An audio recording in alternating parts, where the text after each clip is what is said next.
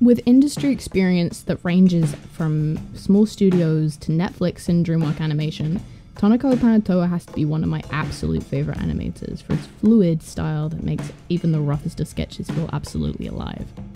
If you haven't heard of this absolutely wonderful man, please check his YouTube channel out. The link will be below. He has an abundance of technical advice and his own industry experience, which he departs knowledge upon in various videos. Also, check out his pilot, Dusk Flight, because no real reason, it's just really cool, and if it gets enough hype, it, I'd love to see it get turned into an actual animated film or series.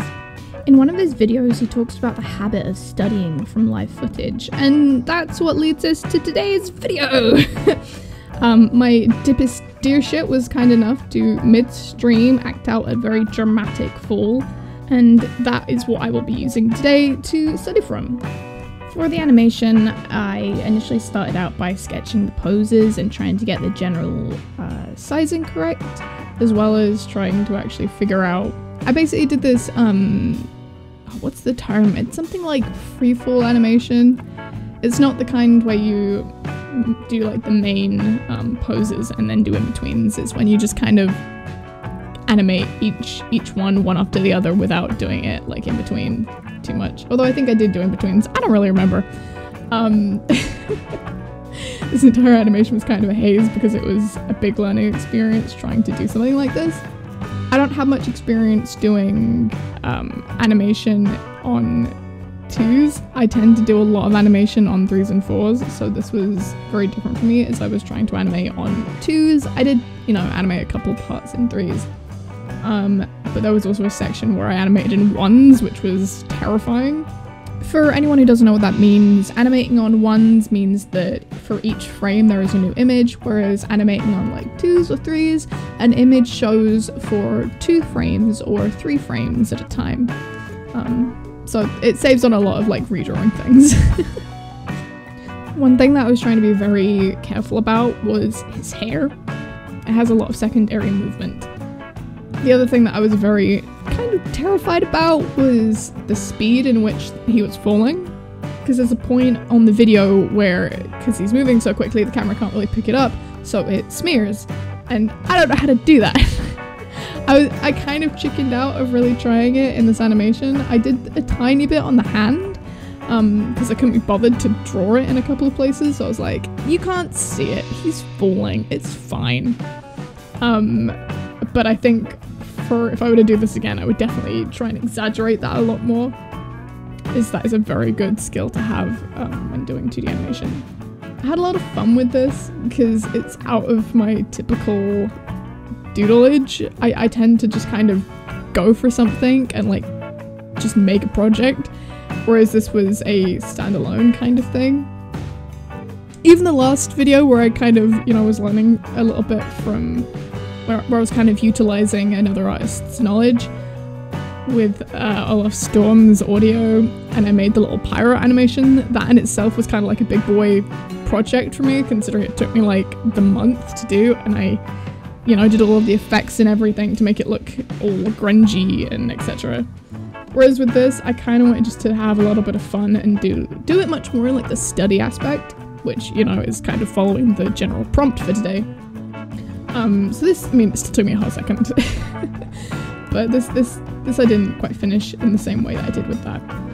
Adding in the line art was a lot of fun because I, I know what my idiot looks like, and it was quite easy to actually follow the rough animation that I'd done underneath because my shorthand tends to be pretty defining of the of like the posing and everything else.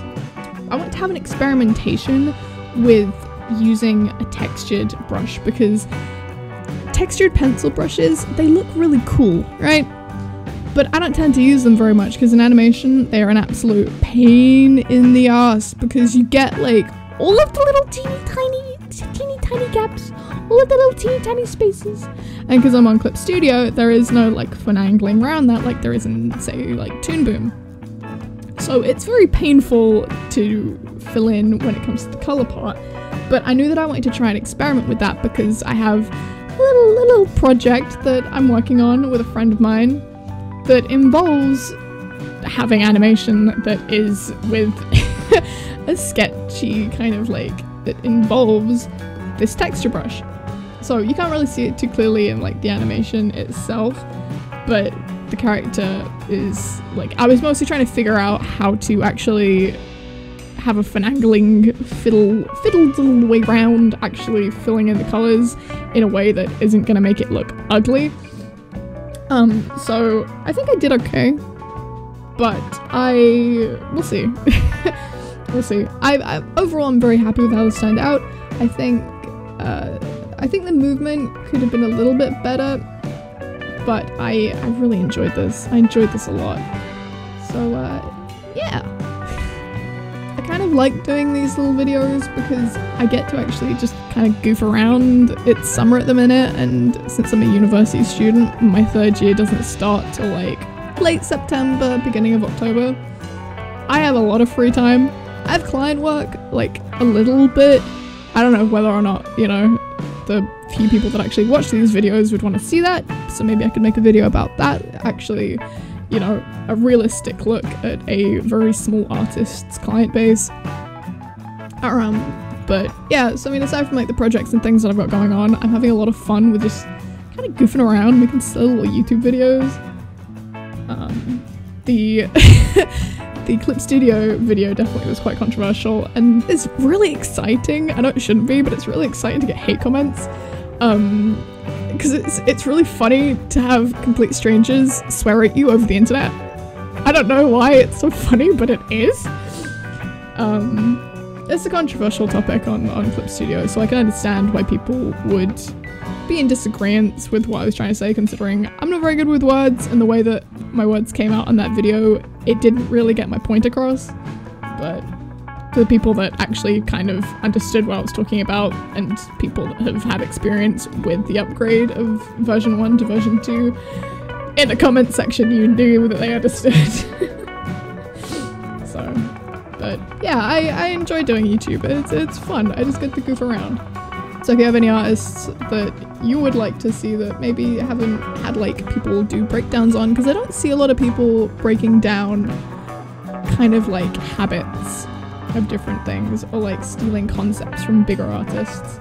I see a lot of people trying to paint like fucking Sam does art or something. I see that a lot, but I don't see a lot of having fun kind of trying to learn some little thing, not like an entire style from somebody, but a little habit or a little um, method of doing something. So if you if you have any artists that you'd love to learn a habit from, I can check them out and, and I will see what I can finagle together. From Toniko Pantoja, I definitely I definitely understand a lot more through actually practicing rather than watching his videos about what he means when he says about the movement and kind of understanding how to actually manipulate the live footage and make it into a 2D foot like animated thing. Or um because in a couple of places you can see where I've like left a lot of detail kind of ambiguous and I can understand a lot more now why people do that.